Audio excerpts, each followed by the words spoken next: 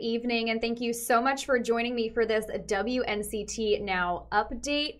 I'm Emily Severage, live in our digital studio, and with the volatile situation going on at the Capitol still, we want to bring you back here down to some local news and show you some of the news that you're missing tonight um, here at our station, around the country, and here as well locally.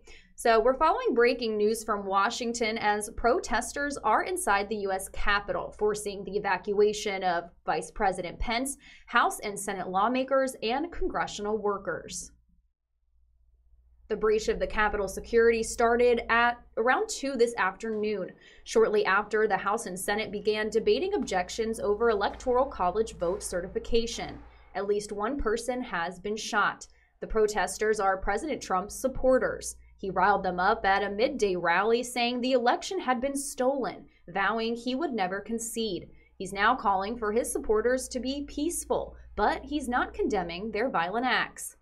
What's normally a ceremonial proceeding is now filled with tension inside and turmoil as Trump loyalists in the House and Senate are on the streets objecting to the result of the 2020 presidential election. Natalie Brand reports from the Capitol. As protesters swarmed the U.S. Capitol, police put the area on lockdown and lawmakers were escorted from the Senate floor.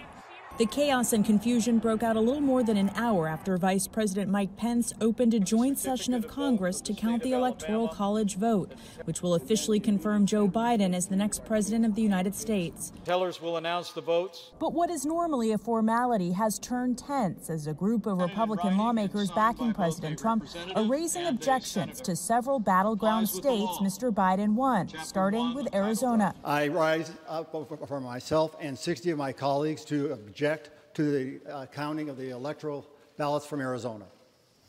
Uh, is the objection in writing and signed by a senator? Yes, it is.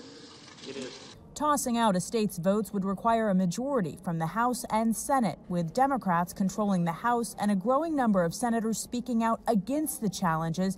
The congressional clash will delay the process, but it will not change the outcome of the election. This election were overturned by mere allegations from the losing side, our democracy would enter a death spiral. Vice President Pence's role today is largely ceremonial, but President Trump, who refuses to acknowledge his loss, falsely insists the vice president has the power to intervene. All Vice President Pence has to do is send it back to the states to recertify, and we become president. President Trump renewed his unsubstantiated claims of a rigged election to a large crowd of supporters at a rally outside the White House. All of us here today do not want to see our election victory stolen. Holding signs and waving flags, President Trump's supporters vowed to continue to fight. Natalie Brand, CBS News, Capitol Hill. In some local news, Governor Roy Cooper is not announcing any new orders in response to North Carolina's rising COVID 19 numbers, but he is extending his current order for three more weeks. It means restaurants and bars must continue cutting off alcohol sales every night at 9, and the statewide 10 p.m. curfew remains in effect. 9 on your side's Caroline Boyer joins us live in the studio. Caroline, what are local leaders saying about this extension?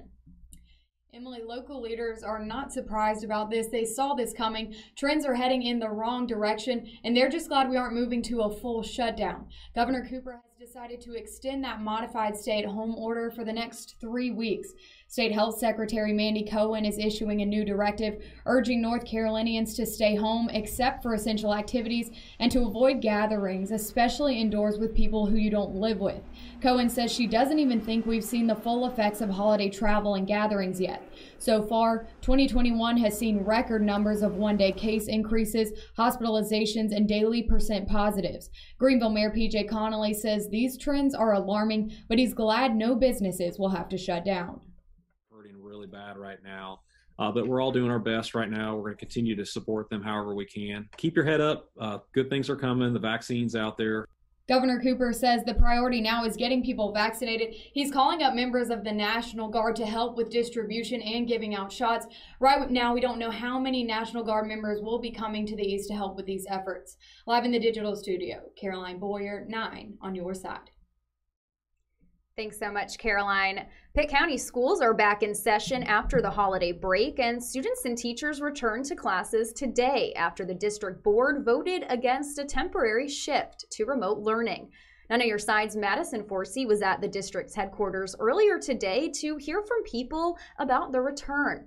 Madison says everyone agrees kids learn best in the classroom, but many right now are thinking about the risk of spreading the virus in schools or around the community. And they say that possibility outweighs the rewards of in person learning.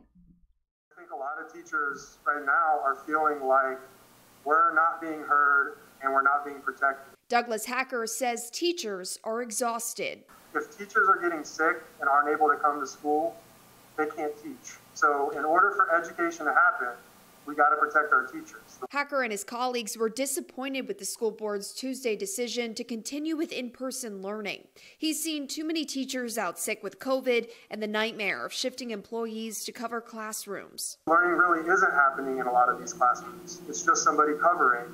Not much learning is taking place anyway. He also knows parents have differing opinions. I just wish that um, there were members on the board that really understood how difficult it is for some parents to be able to uh, have childcare at an instant. Diane Taylor believes not enough thought was given to parents and teachers. Then pretend that it's not a crisis when you have those types of numbers was just disheartening. Kylene Dibble with Parents for Public Schools in Pitt County sees more gray area. We're in the middle of a pandemic, and being happy with any decision is a really hard place to be um, because there are costs to each decision that, that's made.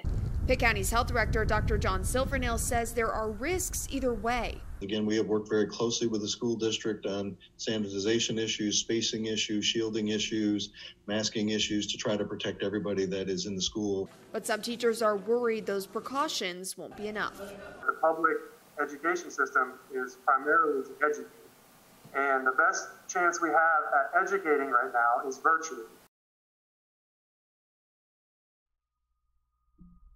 Martin County students are also back in the classroom this week, but the district's board is also planning to transition all students back to virtual learning. 9 on your sides, Amber Joseph shares what parents are saying about that decision. One parent tells me she likes virtual learning because of the issue of keeping enough teachers in classrooms due to COVID exposures. And one mom with a full-time job says the short notice is leaving her scrambling to find childcare plans my kids are doing great with virtual learning. I know that some struggle. Martin County Schools will transition its students to virtual learning. That's due to spiking cases across the county. Christy Godley is a mom to a first grader. She prefers virtual learning and knows COVID isn't easy for schools and their employees. That this face to face thing is being immensely negated by the county not being able to handle the substitute situation I mean, the schools are struggling. School Superintendent David Fonseca says there was an outbreak at Jamesville and Rogers Elementary Schools. Jamesville, there was what? There was Rogers, there was a teacher and 14 kids that was quarantined here a couple of weeks ago. Are there 24 staff members with COVID? We have 24 staff members that are right now, to our knowledge, are documented to be either with COVID or out due to exposure. I also spoke to Rebecca Zaboski, a mom with a full time job and four children in school. She tells me the board's decision did not come with much warning, and she's scrambling to find childcare. Administrators say they'll still distribute pickup meals at each school and will offer laptops and Wi Fi hotspots to families. All Martin County students will transition to remote learning for two weeks starting January 11th. In Williamston, Amber Joseph, 9 your side. Well, that's going to wrap up this the WNCT Now update. Thank you guys so much for tuning in and joining us for this update. And stay tuned for some more local stories and national stories coming up on our broadcast at 10 and 11 tonight. Thanks so much for watching.